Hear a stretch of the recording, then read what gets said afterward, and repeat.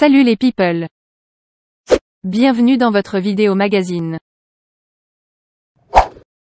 C'est une nouvelle série de témoignages qui est révélée par le quotidien Le Monde, et cette fois, ce ne sont pas moins de huit femmes qui prennent la parole pour dénoncer des faits très graves contre le présentateur vedette de TF1, PPDA, allant de l'agression sexuelle au viol.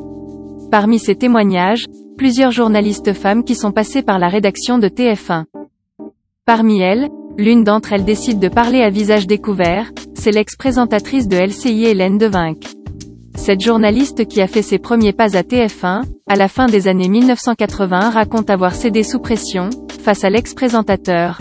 Un petit coup vite fait mal fait, vraiment du troussage de domestique et j'étais la bonne. Mais j'ai serré les dents, et étouffé mes larmes. C'était vraiment humiliant. Je n'avais pas le choix, sinon je ne travaillais plus. Quand j'ai voulu que notre collaboration s'arrête, il a été vexé et cruel, et est allé dire à toute la rédaction que j'étais nulle. De son côté, Joséphine, 18 ans au moment des faits était étudiante en 2003.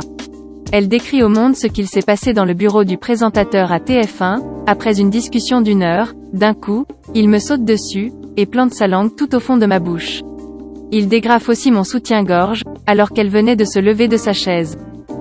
Je lui demande au moins trois ou quatre fois d'arrêter, je lui dis que je ne veux pas, je n'ai pas envie, raconte-t-elle, avant de s'enfuir du bureau, sidérée.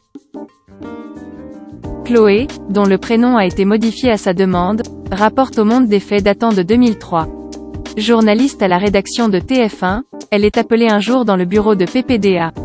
Après une brève conversation, il s'est levé brusquement, m'a enlacé par surprise, m'a embrassé, m'a renversé sur sa grande table, a glissé une main dans mon soutien-gorge puis l'autre dans ma culotte avant de l'introduire dans mon sexe pendant de longues minutes. J'ai essayé de me débattre doucement et de me dégager en murmurant que je ne voulais pas, que j'avais un petit ami, mais j'étais pétrifié et je n'ai pas osé le repousser vigoureusement, ajoutant qu'il l'a dénigré professionnellement devant d'autres collègues par la suite. Plus étonnant encore, des journalistes évoquent des faits plus récents qui datent d'après le départ du présentateur vedette de son poste à TF1. Ainsi, Clémence de Blazy, une journaliste, raconte avoir subi des questions très intimes en 2015, tout comme des appels téléphoniques en numéro masqué de la part du présentateur. Il se sentait tellement puissant, il ne voyait pas pourquoi je refuserais.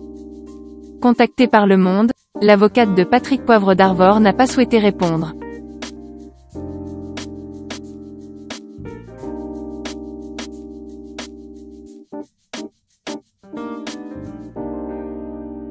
À très bientôt les people. Et n'oubliez pas. Abonnez-vous pour plus de vidéos.